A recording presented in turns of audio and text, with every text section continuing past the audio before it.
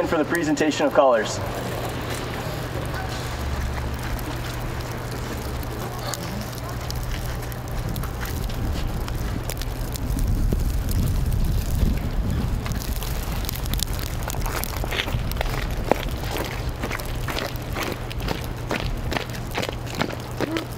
Oh.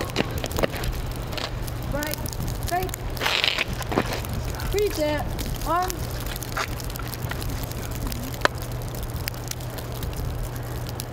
Thank you to members of the JROTC from Innovation High School, and also to Gage Draymond, who is a music major here at the college. Uh, please welcome uh, Tyler Roberts up as she sings our national anthem.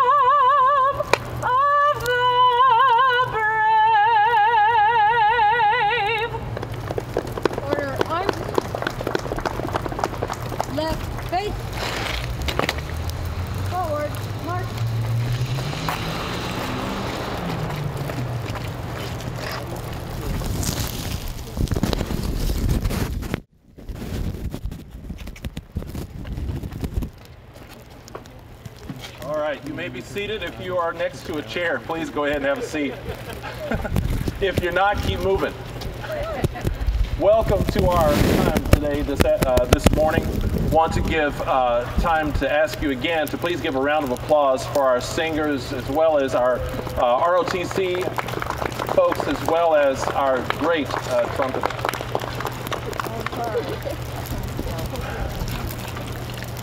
As we uh, prepared uh, for this event, as I was talking to some folks about um, being able to celebrate our veterans today, and uh, the more I thought about us continuing to have this event here outdoors, I go, wait, wait a minute, it's cold and it's snow and it's, oh my goodness. But thinking about what so many went through for our country and uh, how they paid incredible prices, uh, some with uh, their lives, some with being gone from home for such a long time, those who are still paying price for us at this very moment, enduring a whole lot worse conditions than we are right now. Uh, it's the least that we can do to take time out of our day to be out here and celebrate and honor our veterans. Uh, I want to thank all of you and all those who are part of this great institution, not only our faculty and staff, uh, but our students who are uh, have served and who are serving in our armed forces at this very moment or who have served in the past. Please understand and know that we are honored to have as part of our GRCC family, whether it be faculty, staff, or students, how honored we are and how uh, important it is that we know that we never, never forget the sacrifices that have been made and continue to be made on behalf of us so that we can have this opportunity to live in this country where we have the opportunity to work at an institution like GRCC, to live in a city like Grand Rapids, to enjoy ourselves in a state like Michigan, and to be a part of this great country.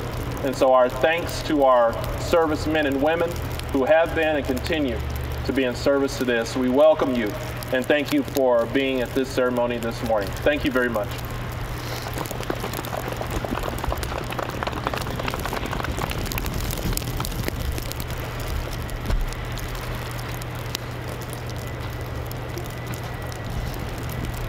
Morning. Good morning. Thank you. Um, I'm not, thank you, Dr. Pink. I'm not really sure what he's talking about. It seems to be beautiful weather out here. Uh, glad to see so many people out in their best winter coats. Um, I'll be quick, I promise. Uh, a couple of stories and then um, homework assignment, of course, because it's college, and then we'll be on our way. I wanted to introduce myself. Uh, my name is Phoenix Noel. I was a Chief Petty Officer in the United States Navy, served aboard submarines. Um, classic story, how you got into the Navy, wanted to get out of home. Um, went to join the military, didn't really care which branch, Air Force was never in. Uh, went to join the Navy and you could just tell that they are such a huge group of friends even in the office. And it, that's what attracted me to that. I did learn over the course of my career that that was the military in general. Every branch, every service member. Um, and I expanded into federal service. There's a camaraderie there, there's a brotherhood there that really sets the example for what we as a country should be doing. And I thank God every time I think about it. I met so many amazing people from so many walks of life. It really was that experience that taught me how a diverse group of people can accomplish so much more than any one person can possibly do. Um, I wanted to tell a quick story about uh, one of those diverse individuals. His name was Christopher Garcia, one of the smartest men I ever served with, one of the nicest and friendliest people I ever served with. And unfortunately, while he was serving, he did end up paying the ultimate price. Um, so I want to take that moment to, to kind of remind everybody that this is no joke, that there are people out there that are sacrificing everything for us and for our rights here in the United States. So, sorry. Chris Garcia served with distinct honor, and I'm proud to remember him today. I appreciate you giving me that time. Here at the college, I want to um, encourage everyone to think about that, to thank the veteran that you see sitting next to you. Um, they typically don't wear anything on their sleeves anymore, so if you can't find one directly, put up a poster, put up a social media post, just thank them for what they do. And they are out there today, they are out there right now, standing in the cold, like we are today. Uh, I appreciate you remembering them. Um, that's all I had. Thank you.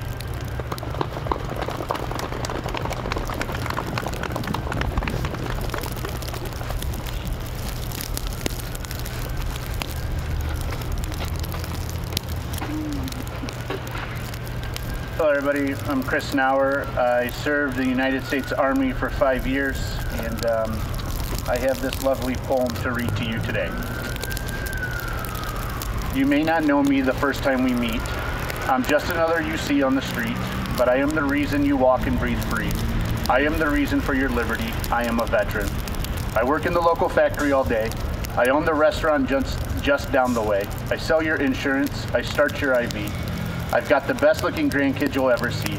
I'm your grocer, your banker, your child's school teacher. I'm your plumber, your barber, and your family's preacher. But there's a part of me you don't know very well. Just listen a moment, I've a story to tell. I am a veteran. I joined the service while still in my teens. I traded my prom, my prom dress for camouflage greens. I'm the first in my family to do something like this. I followed my father like he followed his. Defying my fears and hiding my doubt, I married my sweetheart before I shipped out. I missed Christmas, then Easter, the birth of my son, but I know, but I knew I was doing what had to be done. I served on the battlefront, I served on the base.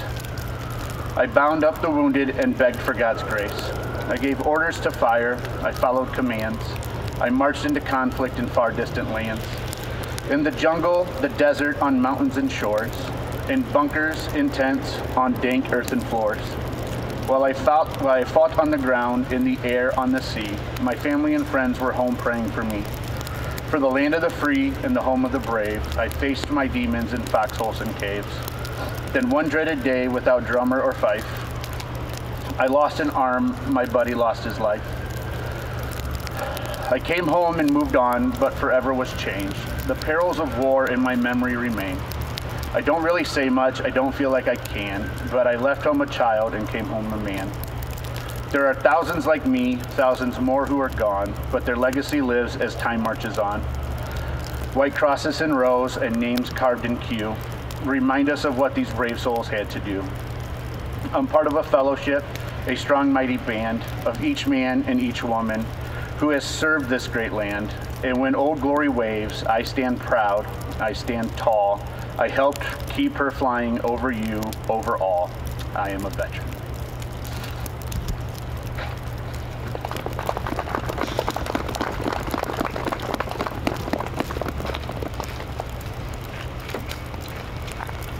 At this time, I'd like to uh, invite any veterans of any of our armed services to please come forward and take the wreath to place it over by the flagpole in our memorial. Any veterans or active service members, please join us.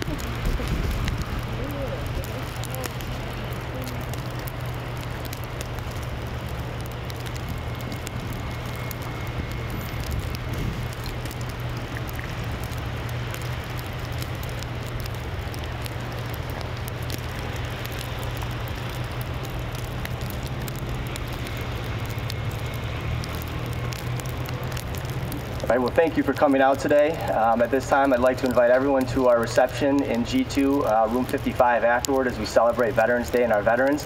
Uh, please take a moment to place your flag underneath the memorial and we'll join us for celebration afterward. Thank you for coming out today.